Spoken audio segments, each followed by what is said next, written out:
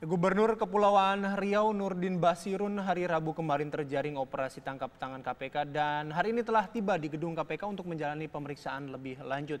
Kita akan bergabung dengan reporter TV One ada Danang Kusuma untuk memperbarui informasi di sana. Danang, jam berapa atau pukul berapa tadi Gubernur Kepri tiba di gedung KPK?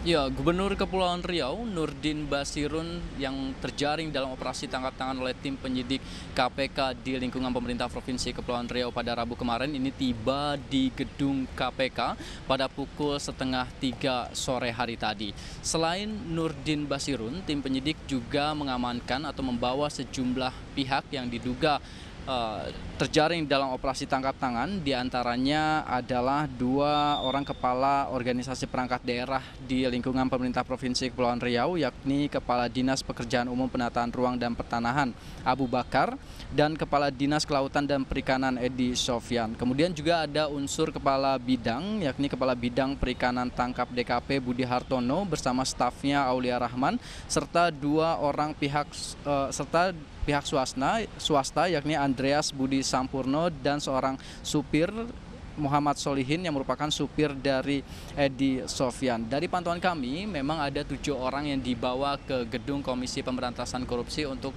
kemudian menjalani pemeriksaan lanjutan oleh tim penyidik dari Komisi Pemberantasan korupsi. Selain mengamankan ketujuh orang tersebut, KPK juga ini kabarnya mengamankan sejumlah barang bukti, yakni berupa uang pecahan rupiah dan juga uang senilai 6.000 dolar Singapura. Uang tersebut diduga digunakan untuk suap yang berhubungan dengan rencana lokasi proyek reklamasi di Kepulauan Riau. Namun hingga saat ini masih belum terkonfirmasi proyek reklamasi mana di Kepulauan Riau yang disebut-sebut uh, terlibat atau ter berkaitan dengan uh, operasi tangkap tangan oleh tim penyidik KPK ini dan nantinya KPK masih memiliki waktu 1 kali 24 jam untuk kemudian menentukan status hukum dari sejumlah pihak yang diamankan oleh tim penyidik dari KPK. Dan informasi yang kami terima memang rencananya pada sore hari ini KPK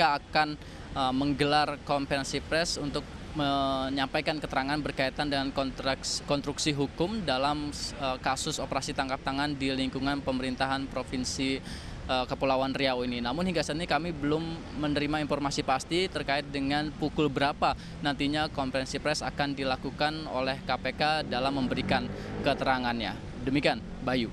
Baik, terima kasih Danang Kusuma atas laporan Anda langsung dari gedung KPK.